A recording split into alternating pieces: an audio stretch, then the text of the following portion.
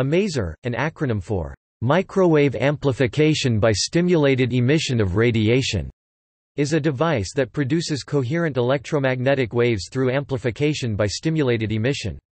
The first maser was built by Charles H. Townes, James P. Gordon, and H. J. Zeiger at Columbia University in 1953. Townes, Nikolai Basov and Alexander Prokhorov were awarded the 1964 Nobel Prize in Physics for theoretical work leading to the maser.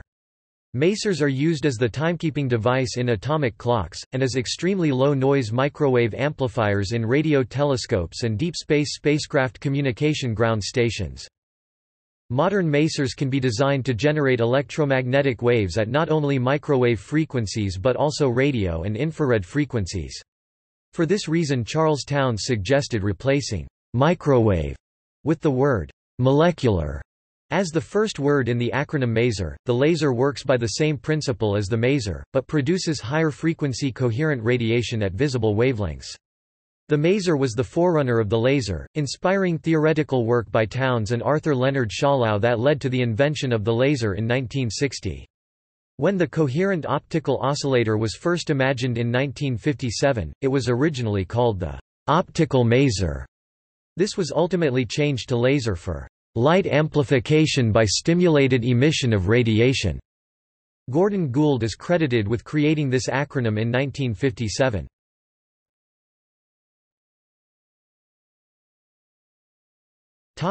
History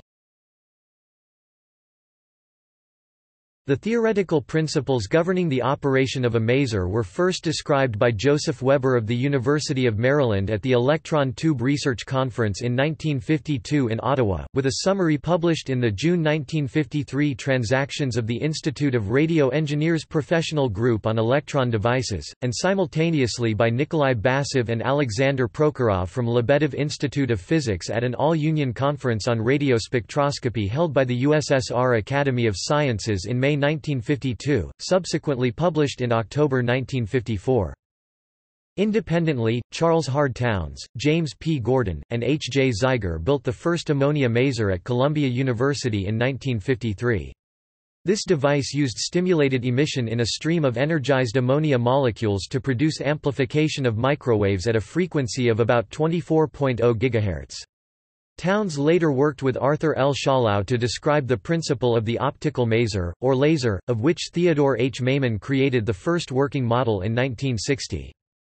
For their research in the field of stimulated emission, Townes, Basov and Prokhorov were awarded the Nobel Prize in Physics in 1964.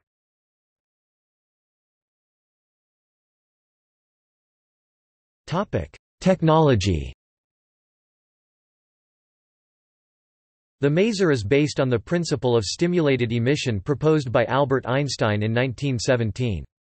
When atoms have been induced into an excited energy state, they can amplify radiation at a frequency particular to the element or molecule used as the masing medium similar to what occurs in the lasing medium in a laser. By putting such an amplifying medium in a resonant cavity, feedback is created that can produce coherent radiation.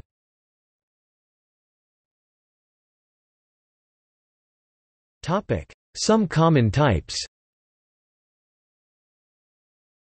Atomic beam masers Ammonia maser Free electron maser Hydrogen maser Gas masers Rubidium maser Liquid dye and chemical laser Solid-state masers Ruby maser Whispering gallery modes iron sapphire maser Dual noble gas maser the dual noble gas of a masing medium which is nonpolar.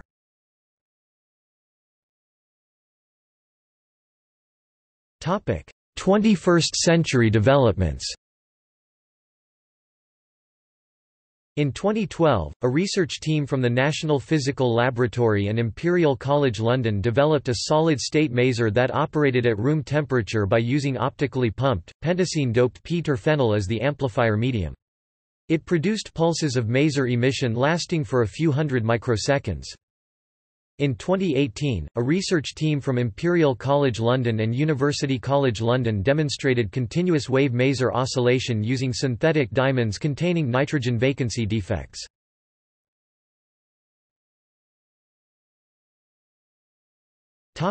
Uses Masers serve as high-precision frequency references. These atomic frequency standards are one of the many forms of atomic clocks. They are often used as low-noise microwave amplifiers in radio telescopes.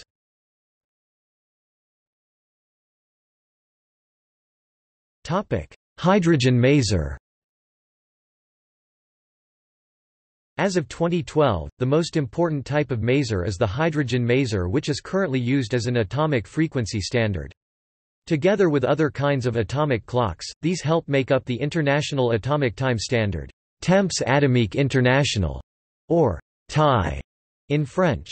This is the international time scale coordinated by the International Bureau of Weights and Measures. Norman Ramsey and his colleagues first conceived of the maser as a timing standard.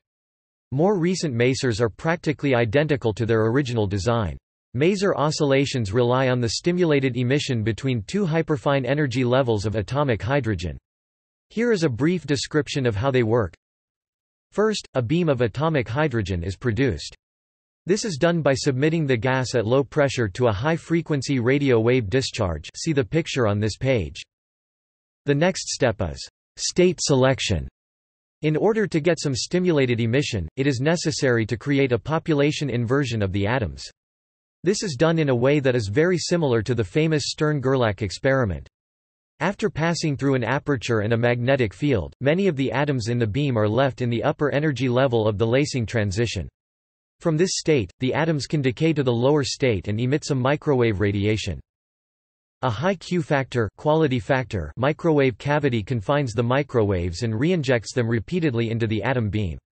The stimulated emission amplifies the microwaves on each pass through the beam. This combination of amplification and feedback is what defines all oscillators. The resonant frequency of the microwave cavity is tuned to the frequency of the hyperfine energy transition of hydrogen, 1,420,405,752 Hz. A small fraction of the signal in the microwave cavity is coupled into a coaxial cable and then sent to a coherent radio receiver. The microwave signal coming out of the maser is very weak a few picowatts. The frequency of the signal is fixed and extremely stable. The coherent receiver is used to amplify the signal and change the frequency. This is done using a series of phase-locked loops and a high-performance quartz oscillator.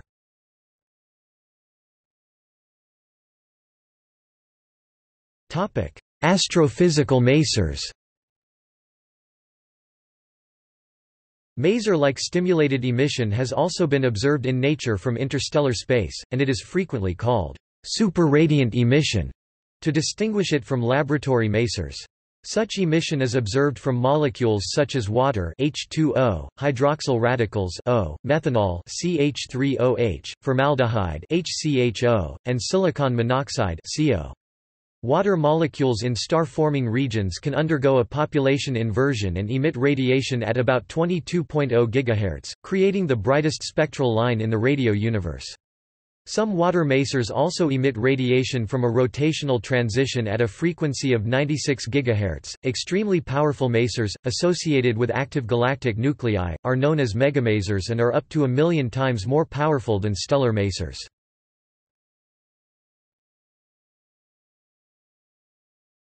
Topic: Terminology. The meaning of the term maser has changed slightly since its introduction. Initially the acronym was universally given as microwave amplification by stimulated emission of radiation, which described devices which emitted in the microwave region of the electromagnetic spectrum. The principle and concept of stimulated emission has since been extended to more devices and frequencies. Thus, the original acronym is sometimes modified, as suggested by Charles H. Townes, to molecular amplification by stimulated emission of radiation. Some have asserted that Townes's efforts to extend the acronym in this way were primarily motivated by the desire to increase the importance of his invention, and his reputation in the scientific community. When the laser was developed, Townes and Schawlow and their colleagues at Bell Labs pushed the use of the term optical maser, but this was largely abandoned in favor of laser, coined by their rival Gordon Gould. In modern usage, devices that emit in the X-ray through infrared portions of the spectrum are typically called lasers, and devices that emit in the microwave region and below are commonly called masers, regardless of whether they emit microwaves or other frequencies. Gould originally proposed distinct names for devices that emit in each portion of the spectrum, including grasers gamma-ray lasers, xasers X-ray lasers, UVasers ultraviolet lasers, lasers visible lasers, irasers infrared lasers, masers microwave masers, and rasers RF masers. Most of these terms never caught on, however, and all have now become apart from in science fiction obsolete except for maser and laser. During the early 1960s, the Jet Propulsion Laboratory developed a maser to provide ultra-low noise amplification of S-band microwave signals received from deep space probes.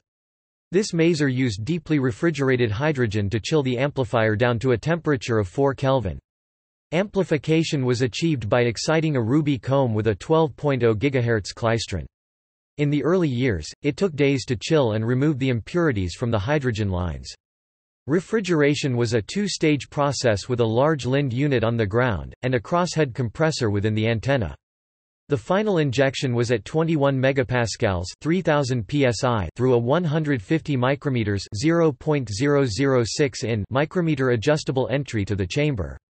The whole system noise temperature looking at cold sky 2.7 kelvins in the microwave band was 17 kelvins. This gave such a low noise figure that the Mariner IV space probe could send still pictures from Mars back to the Earth even though the output power of its radio transmitter was only 15 watts, and hence the total signal power received was only 169 decibels with respect to a milliwatt dBm.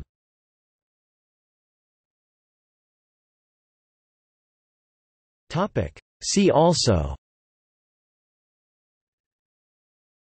Spaser List of laser types. Astrophysical maser